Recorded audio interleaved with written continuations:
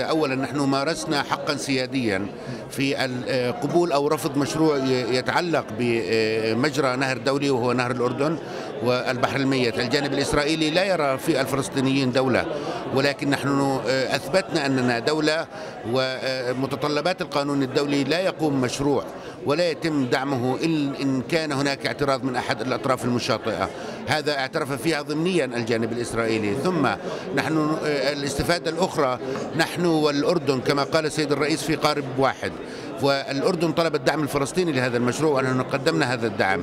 ثالثا في المذكرة التي وقعت هناك عرض على الفلسطينيين أن يقوموا بشراء 30 مليون متر مكعب وفي المذكرة نص إذا اتفقنا على الأسعار وعلى الأماكن التي نأخذ فيها هذه المياه كونا لا نريد المياه في أماكن غنية بالمياه نريدها في ريف دورة وفي ريف رياطة إذا اتفقنا تكون هناك اتفاقية مستقلة عن اتفاقية أوسلو لأننا نحن عانينا من ترتيبات المياه في اتفاقية أوسلو. يعني فائدتنا تكون تكاد تكون معدومة بل على العكس نحن خرجنا متضررين من هذا المشروع.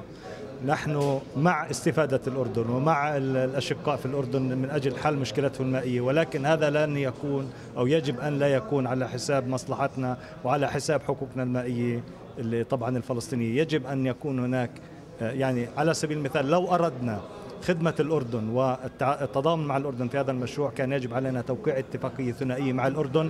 نوافق على مشروع الأردني وليس اتفاقية آه، ثلاثية مع الجانب الإسرائيلي. تضيع حقنا ولا تظهرنا كطرف سيادي في هذا الموضوع.